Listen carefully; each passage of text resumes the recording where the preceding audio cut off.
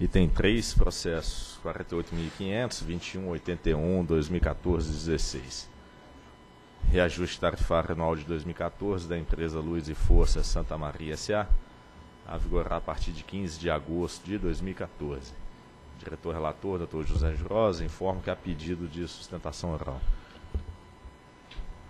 A Santa Maria, sediada na cidade de Colatina, no Espírito Santo, atende aproximadamente 101 mil unidades consumidoras, cujo consumo de energia elétrica representa um faturamento anual da ordem de 157 milhões. As tarifas da Santa Maria, no, no processo de reajuste de 13, foram em média reajustadas em 9,6 pontos percentual, sendo 8,26 referente ao reajuste tarifário anual econômico e 1,34% relativo aos componentes financeiros pertinentes, conforme consta na Resolução Homologatória 1584 de 13 de 8 de 13. Conforme deliberação da diretoria da ANEL, foi autorizado o diferimento parcial do reajuste no, no valor de pouco mais de 4 milhões na base de agosto de 13, a ser considerado como componente financeiro no atual reajuste tarifário atualizado pela variação do IGPM. Em decorrência desse diferimento parcial, o efeito médio percebido pelos consumidores da Santa Maria em 2013 foi de 2,17%. E por meio das cartas de julho e de, de 15 de julho e de 30 de julho de 14, e nos termos do parágrafo 1 do artigo 15 da Lei 9427 de 96, a Santa Maria encaminhou à ANEL proposta de reajuste anual de 2014. A SRE analisou o cálculo feito pela concessionária e apresentou suas considerações por meio da nota técnica 264 de 6 de junho de 14. É o relatório. Então, a sustentação oral será feita pelo Dr. Arthur Arpini Coutinho, presidente da Luz e Força Santa Maria S.A.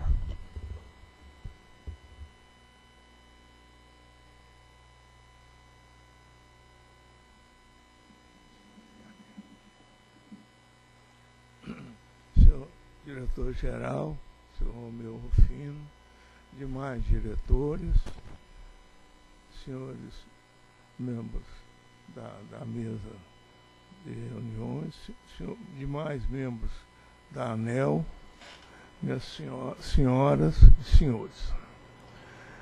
Eu go- gostaria de apresentar a posição da Santa Maria com relação ao critério calculado pela SRE da nossa tarifa.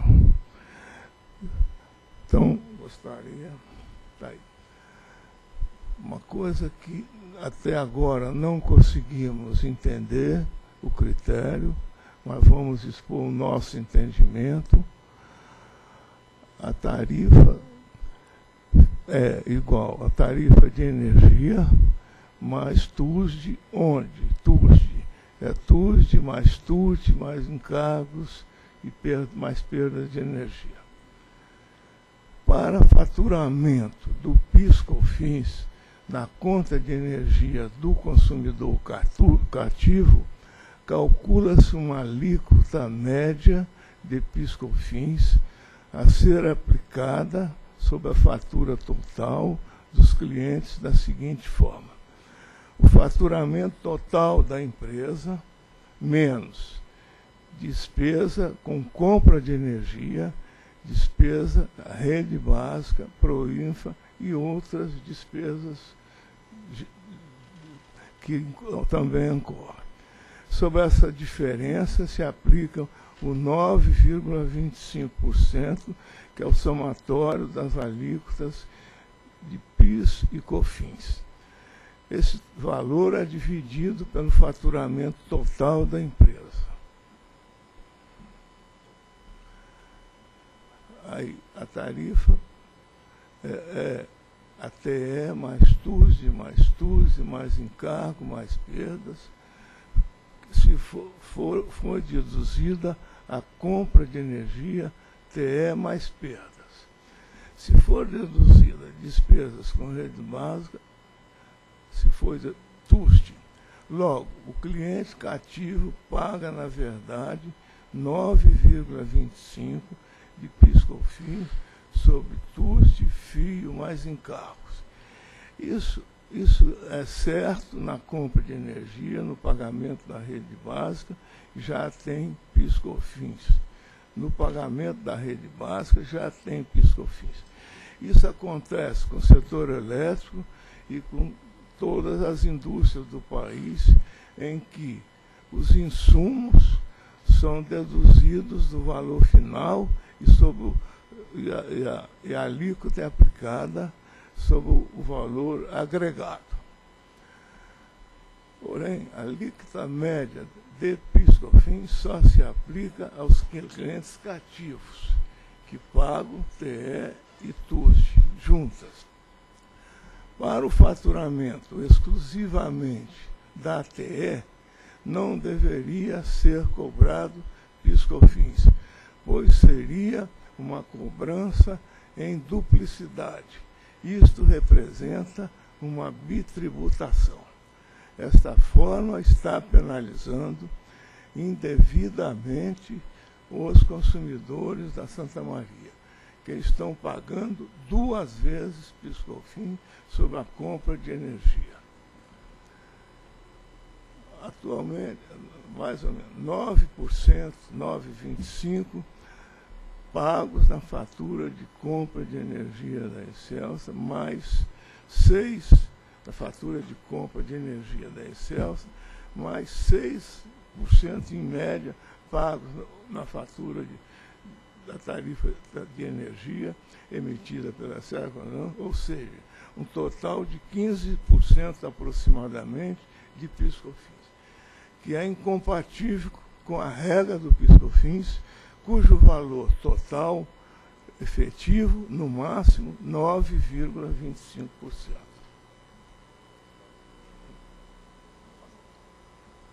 Bom, então, pelo que nós explicamos, entendemos que está havendo um mau entendimento da ANEL quando considera que a tarifa de energia que a Santa Maria compra não tem piscofins.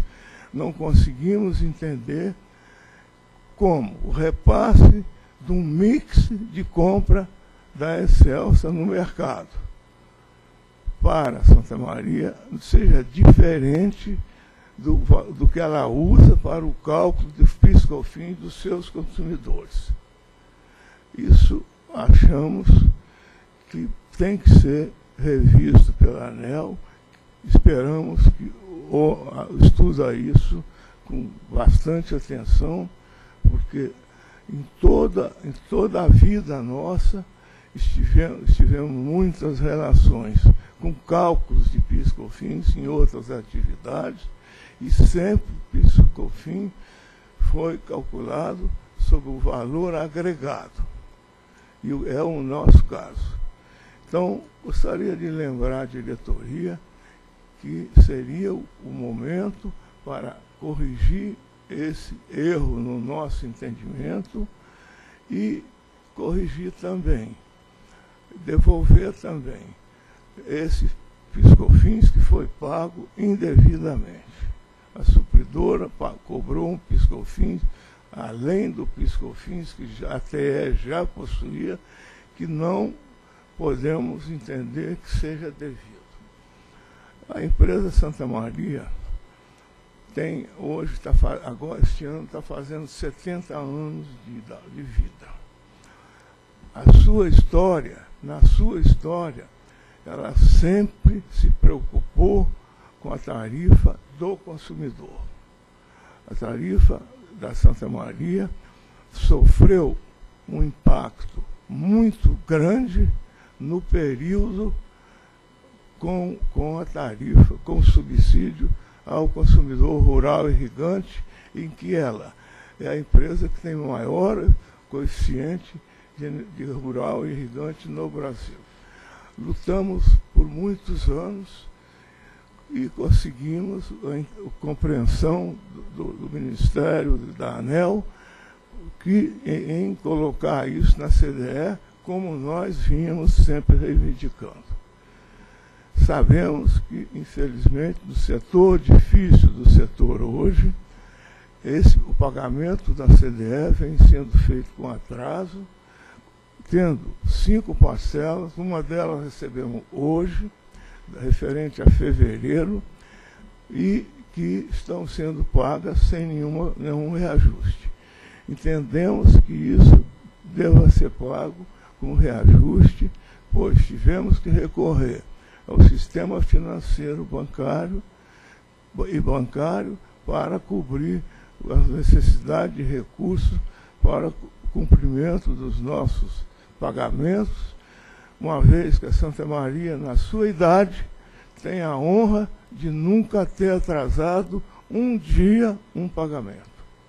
É isso que nós pedimos aos seus diretores, que considerem essa posição, que no nosso entender é uma posição cristalina e estão nada mais fazendo do que defender o nosso consumidor, uma vez que isso não altera em nada a remuneração da Santa Maria.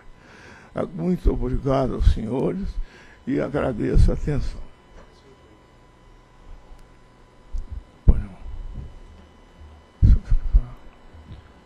Eu gostaria de pedir a, a SRE que fizesse uma. Um instantinho que está ah. terminando. Cadê? Só volta a apresentação, último slide lá que ele quer fazer. A empresa não é um. Não, último slide. Desculpe. A empresa não é um cliente cativo da Excelsa. A empresa tem uma situação especial. Compra toda a energia da Excelsa, exceto geração própria e florida. Usa pouco o sistema de distribuição da Excelsa. 72% da energia que compra recebe através da rede base, direto da rede base. Faturas de TR e TUS, inclusive, são separadas. A despesa de compra, a despesa, despesa de compra no IRT de 2014, 110 milhões. 110 milhões. 6% médio, são 6,6 milhões que a empresa está pagando e que terá que, repa que repassa para os seus consumidores, terá que repassar o que deveria ser zero. Essa é a nossa posição e não podemos concordar que o nosso consumidor seja tão penalizado. Agradeço aos senhores todos e peço que olhem com, com atenção o nosso pleito e que o, o, o, o, que foi cobrado em excesso seja devolvido pela supridora no financeiro e que seja corrigida a sistemática já na tarifa que entra em vigor no dia 15 do, deste mês. Muito obrigado, felicidades. É, eu solicito aí a SRE que faça uma, um esclarecimento a respeito.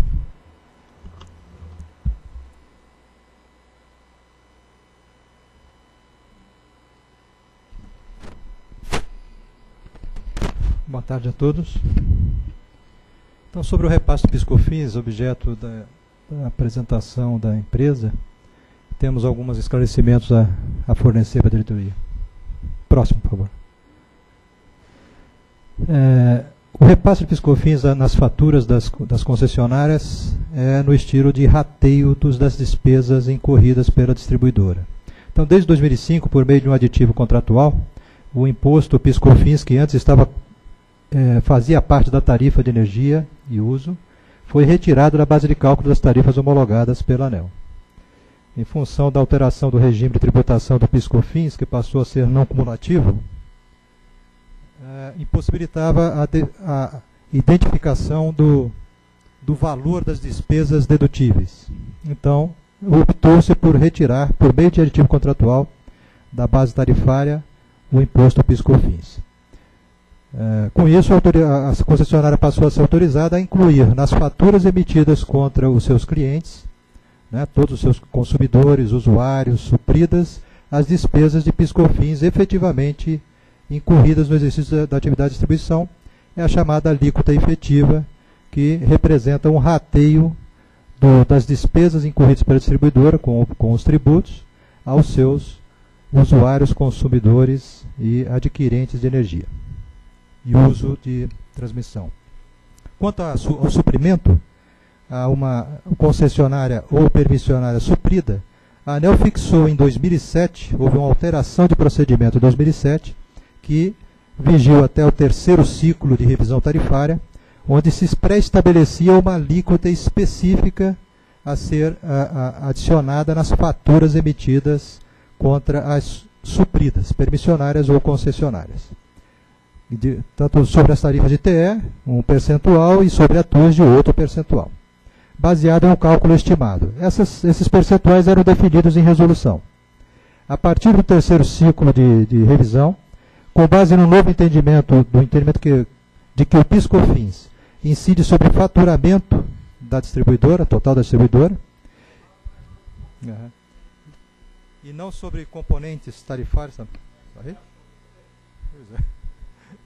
Então, no entendimento de que o PIS/COFINS incide sobre o faturamento total da empresa e não sobre componentes tarifários, e de que não cabe tratamento particular por segmento de cliente, seja suprida, gerador, consumidor livre, cativo, baixa renda, então o PRORET, aprovado já tanto na revisão quanto na abertura, uh, abertura tarifária, do reajuste, não estabeleceu tratamento diferenciado em relação ao percentual que deva constar das faturas. O próximo. Então, nas resoluções de, de, de aprovação de tarifas, consta um artigo que sai em todas as resoluções, em que estabelece, fica autorizada a inclusão no valor total a ser pago pelo consumidor usuário das despesas do PIS-COFINS, PIS-PASEP e da COFINS efetivamente incorridos pela concessionária, no exercício da sua atividade de distribuição. E em função dessa eventual variação, de, de eventual variação mensal, da alíquota efetiva, calculada pela empresa, bem como da defasagem entre o valor pago e o, e o valor repassado ao consumidor, a concessionária pode compensar essas eventuais diferenças no mês subsequente. De modo que, a cada mês, há um percentual de alíquota efetiva eh, sendo acrescido, adicionado nas faturas dos, dos clientes da distribuidora. O próximo. Aqui é, é só para demonstrar de, de forma gráfica sem levar em conta cálculos precisos, né?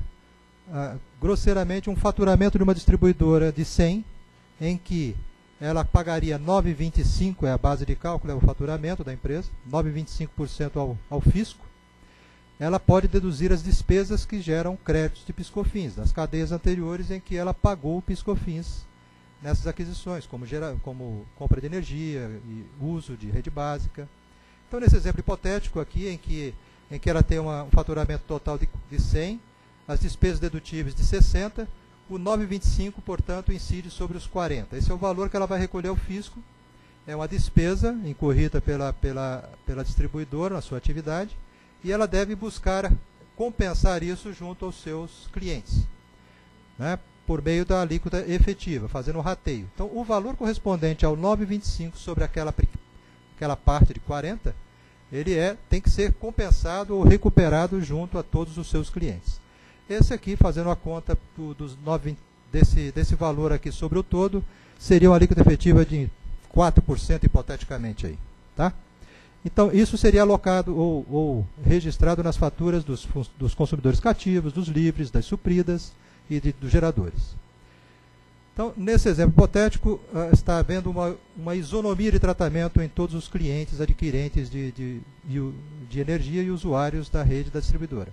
Caso fosse estabelecida uma alíquota menor específica para a suprida, por exemplo, que, o que aconteceu no período de 2007 até a terceiro ciclo, a alíquota efetiva para os demais segmentos dessa distribuidora seria maior que 4%, obviamente, porque a conta tem que fechar. Né? Então, é esse o esclarecimento básico elementar que a gente quer apresentar. Próximo, por favor.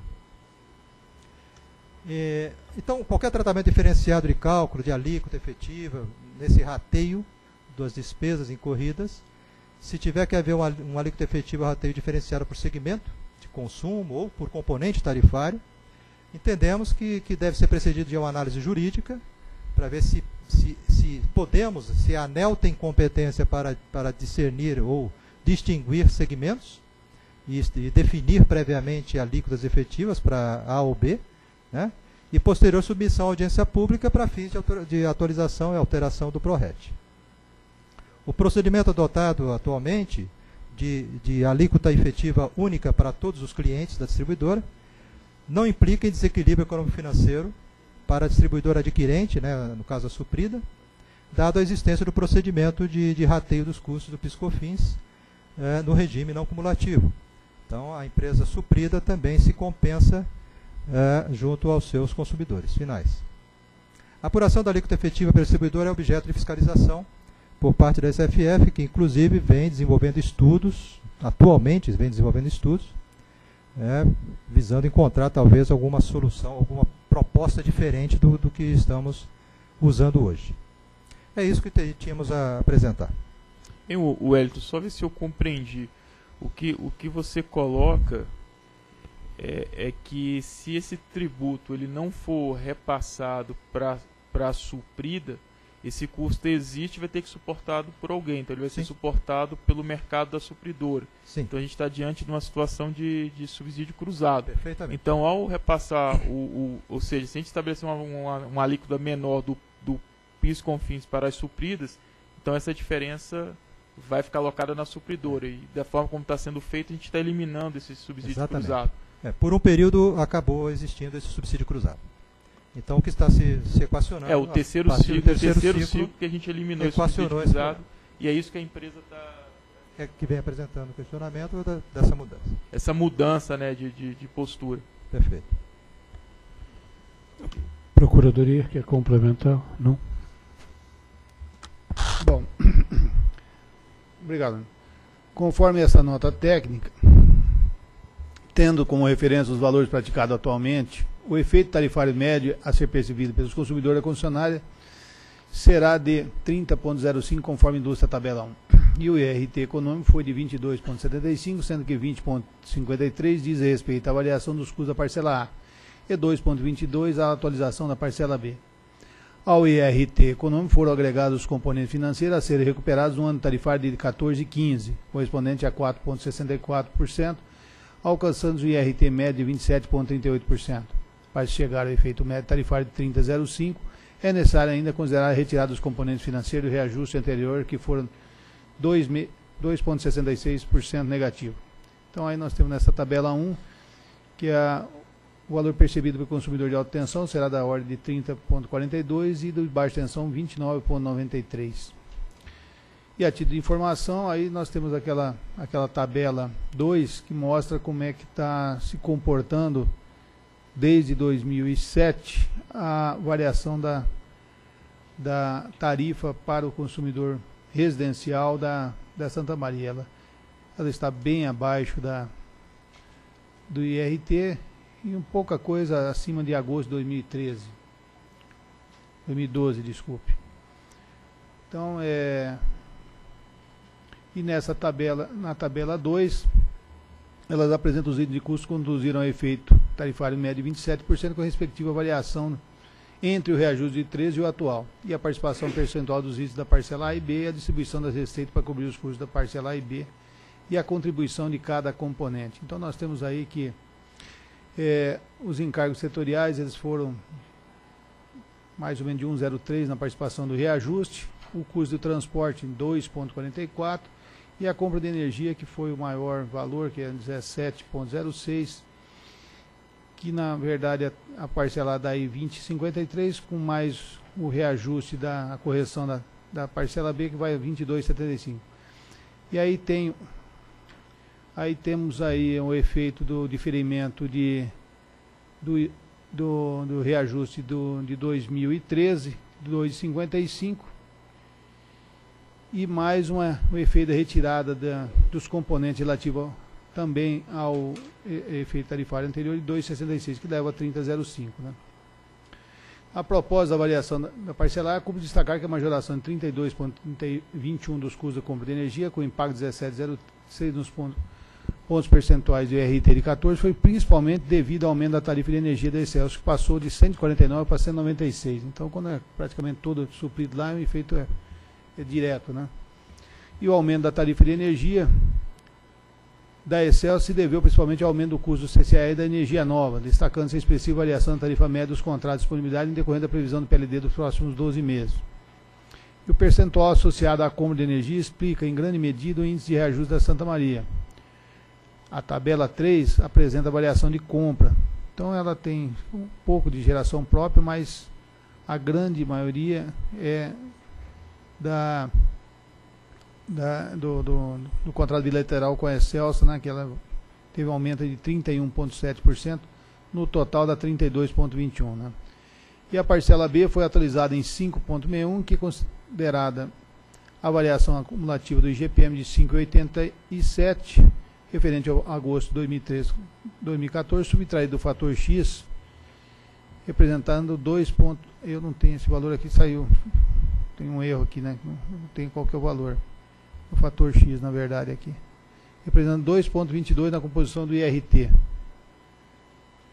E os gráficos, aí eu vou aquele segundo gráfico, que é o gráfico com a participação, com a composição dos tributos, que o, que o custo de energia para a receita da, da, da concessionária é 44,2, o custo da distribuição de 26,3 e os tributos 22,6. Né? Os componentes financeiros considerados nesse ajuste estão listados na tabela 4, com destaque a conta de compensação no CVA né, de energia comprada de 1,76 devido principalmente à alteração da alíquota PIS com fim destacado nas faturas da tarifa de energia da Excelsior. E outro ponto merece destaque diz respeito ao diferimento estabelecido na resolução do ano passado, e a resolução estabelece que o processo tarifário de 14 da Santa Maria deverá ser considerado o repasse do valor de pouco mais de 4 milhões a ser atualizado pelo IGPM. E o tal diferimento se deve ao fato que no processo de ajuste de 13 a Santa Maria ter solicitado que o passivo financeiro decorrente do descasamento das datas do reajuste da, da Excelsior e da Santa Maria relativo às tarifas de energia fosse dividido de forma de 50% que ele fosse diferido para inclusão no processo tarifário de 14, corrigido pelo IGPM. E esse valor foi calculado pela SRE em pouco mais de 8 milhões, referente ajuste referente à concatenação do suprimento base componente da tarifa de energia. A Excelso concordou com o parcelamento solicitado em 24 parcelame- parcelas mensais consecutivas. Dessa forma, está sendo considerado no atual reajuste o valor de pouco mais de 4 milhões com atualização no IGPM para data do processo tarifário. Desse componente financeiro causou impacto de 2,55 ponto percentual. Então, estão aí que, na verdade, é o diferimento, que é, que é bem grande, né? E também o CVA em processamento da energia comprada, que é basicamente os dois que chegam aí aos 4,64. E a Santa Maria questiona em seu pleito o procedimento que vem sendo adotado pela supridora Excelsior na apuração do PIS/COFINS, que é cobrado na tarifa de suprimento de energia. Segundo a Santa Maria, esse procedimento majorou significativamente o valor do PIS/COFINS incluído nas tarifas de suprimento de energia desde o último reajuste tarifário da supridora. Em razão disso, a Santa Maria solicita que seja considerado componente financeiro no atual processo, o valor negativo de pouco mais de 3 milhões, que reflete o cálculo do PIS/COFINS cobrado pela Excel nos últimos 12 meses e que mesmo esse mesmo valor seja repassado pela Excelsa à Santa Maria mediante determinação. né? Sobre o ponto, componente financeiro solicitado não foi considerado no atual processo tarifário, pois o que se questiona é o procedimento de inclusão nas faturas da supridora do valor correspondente à alíquota efetiva do PIS/COFINS que a Excelsior está devidamente autorizada a praticar, conforme com a resolução moratória do, do processo tarifário 2013. Então, é, como bem explicado ali pela SRE, entende que, desse modo, não há qualquer irregularidade no processo adotado pela supridora da Excelsior, no que tange ao repasse aos seus consumidores e usuários, a incluída a suprida Santa Maria. No valor, é, porque é importante dizer que, na verdade, não tem dif diferença qual é, qual é o tipo de quem está sendo suprido, né? se é um consumidor final, se é uma supridora ou até mesmo um, um gerador que ele tenha um consumo próprio que você precisa passar para ele. Em razão, é, em razão disso, a incidência do PIS/COFINS nas tarifas de suprimento de energia passou a ser realizada mediante aplicação de alíquota efetivamente lucro única, incidente sobre todos os consumidores usuários da Excelsior, estando a concessionária autorizada a compensar even- eventuais variações da alíquota efetiva nos meses subsequentes, conforme a autorização da ANEL nas resoluções de homologação dos processos tarifários. Por fim, ressalta que a alteração no procedimento de repasse do PIS/COFINS não resulta em qualquer desequilíbrio econômico-financeiro da Santa Maria, uma vez que esse fato deve ser levado em consideração quando da apuração e repasse da alíquota efetiva referente a esse tributo nas faturas de seus próprios consumidores barra usuário. A distribuidora pleiteou também a inclusão do componente financeiro de R$ 85.038 centavos referente à atualização monetária dos valores não repassados pela Eletrobras a Santa Maria, no período de janeiro a junho de 14, relativo ao custeio do subsídio retirado da sua estrutura tarifária. O pedido não foi atendido, pois desde a revisão tarifária extraordinária de janeiro de 13 ficou estabelecido que os descontos tarifários devem ser cobertos com recursos da CDE e não por meio de repasse às tarifas. Quanto à subvenção da CDE, os descontos tarifários, que agora passam a ser distribuídos para todos os consumidores, passo lá ao item 28, sendo assim o valor mensal a ser repassado pela Eletrobras, a distribuidora, no período de agosto de 14 a junho de 15 até o décimo último do mês sequente, é de R$ 3.187.999,89, já considerada a diferença entre os valores previstos e realizados no período de fevereiro de 13 a junho de 14.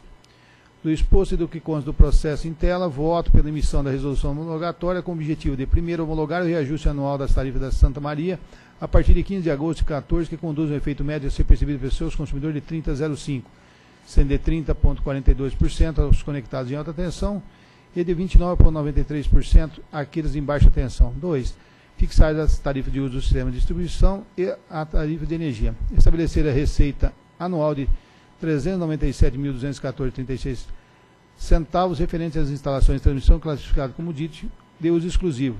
Quarto, homologar o valor mensal de R$ 3.187.999,89 centavos a ser repassado pela Eletrobras à empresa Santa Maria para custeio por meio de CDE do subsídio de retirada da estrutura tarifária. E, além disso, estabelecer o valor de R$ 4.268.517,08 a ser pago pela Santa Maria a Excelso relativo ao saldo remanescente do passivo financeiro de que trata o artigo 9 parágrafo único da resolução homologatória 1584-2013. É o voto. Em discussão. Bem, aqui dois comentários. O primeiro é esse pleito que a empresa formula e está abordado no item 25 do voto, é aquela questão da atualização financeira, o componente financeiro de uma atualização pela, pelo atraso no repasse de recursos da CDE. Na verdade, na reunião anterior nós já encomendamos a SRE, não sei se já está pronto, acho que não, é de fazer uma avaliação, porque é, naquela oportunidade nós nos posicionamos na linha de que não é próprio é, incluir como componente financeiro do processo tarifário, mas parece fazer sentido que essa, esse repasse com atraso pudesse ser feito minimamente com o valor atualizado. Eventualmente pode até não ser possível remunerar, mas pelo menos atualizar. Então a SRE já está fazendo lá essa análise para ver se cabe é, disciplinar essa questão no sentido de contemplar essa possibilidade de atualização que conceitualmente, meu modo de ver, faz todo sentido. Então, não estamos descartando a possibilidade de que isso venha a ser incorporado, mas não na forma de componente financeiro, como aqui bem está colocado. O outro ponto, eu acho que, é, em síntese, o que o, o Elton esclareceu na sua apresentação foi que não sei se entendi corretamente, que o pressuposto que a Santa Maria está assumindo de que naquele valor calculado da tarifa já tem piscofins não é correto. Porque nós não colocamos piscofins em tarifa nenhuma, dado a razão que ele explicou, que o que tem que se agregar é a alíquota efetiva, e não se sabe previamente a alíquota efetiva. Portanto, aquela linha adotada de incluir o piscofins é, na tarifa definida pela ANEL vale para todos os consumidores em função disso.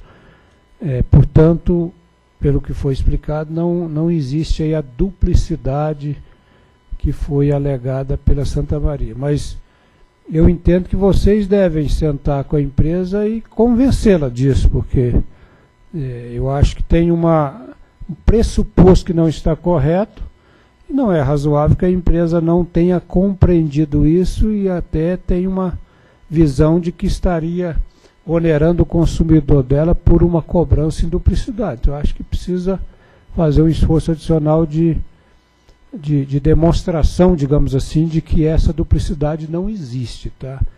É claro que vocês explicaram aqui e eu entendi, mas para mim, que eu até me considero iniciado no assunto, ainda não tem também uma conclusão cabal sobre isso. Vocês assumiram pressupostos aqui, que eu entendo, tá? imagino que esteja correto, mas o que eu estou dizendo é assim, que não é uma coisa tão óbvia também, tá certo? Então, certamente, se a empresa está com essa dúvida, é, é, é importante que vocês façam essa conversa com a empresa e elimine essa dúvida. Né? Certamente vocês terão como demonstrar de maneira mais efetiva de que isso não está no valor originalmente definido lá, portanto, a Excelsa não está cobrando em duplicidade, porque evidentemente não pode. Né?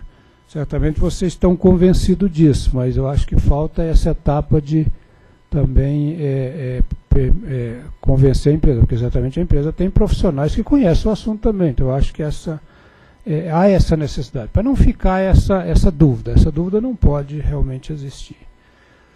É, então eu, a minha sugestão é que vocês façam isso, não precisa evidentemente da diretoria fazer. E aí eu depois vou, vou saber da Santa Maria se a, o dever de casa foi bem feito.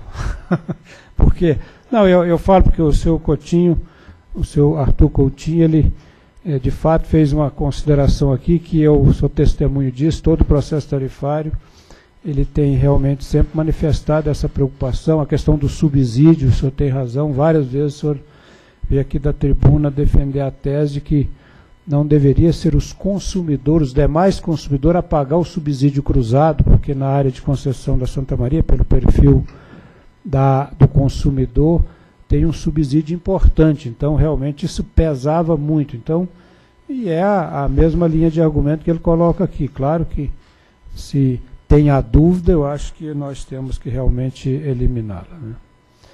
É, e aqui também só um, um, um, último comentário, na linha dos processos que deliberamos de manhã, os três processos que deliberamos de empresas que são supridas, no, naquele caso, pela Celesc, que acabou impactando de maneira importante o, o valor da tarifa da suprida, aqui não é diferente. Quer dizer, aqui a Santa Maria é suprida pela Excelsa, né, então, ela, só um instantinho, então ela, ela foi muito impactada pelo valor maior do custo da energia gerada pela Excelsa, então grande parte aqui do aumento tarifário decorre de uma majoração do custo da energia. Portanto, é parcelar, é custo da energia, de fato não, não é em função do processo tarifário na parte que compete mais à gestão da distribuidora.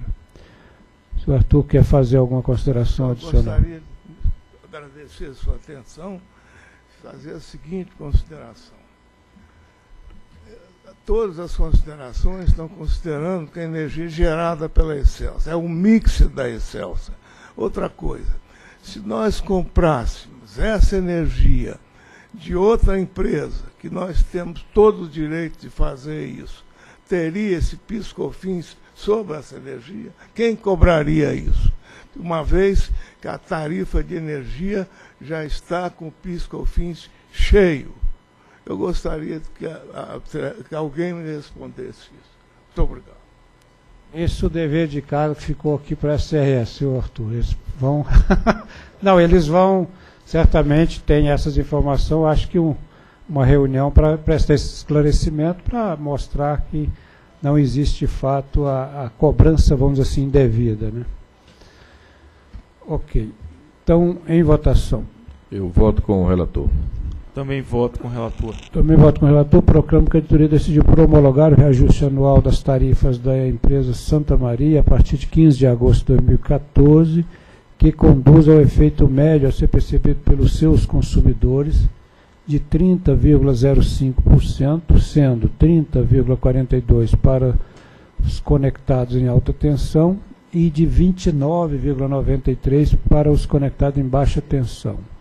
Fixar as tarifas de uso do sistema de distribuição e tarifa de energia, estabelecer a receita anual de R$ 397.214, referente a instalações de transmissão classificado como DITs, é, homologar o valor mensal de R$ 3.187.999 a ser repassado pela Eletrobras a Santa Maria para custeio por meio da CDE dos subsídios retirados da estrutura tarifária e, por último, estabelecer o valor de R$ 4.268.517 a ser pago pela Santa Maria Excelsa, relativo ao saldo remanescente do passivo financeiro de que trata o artigo 9 parágrafo único da resolução homologatória 1584-2013. Próximo item.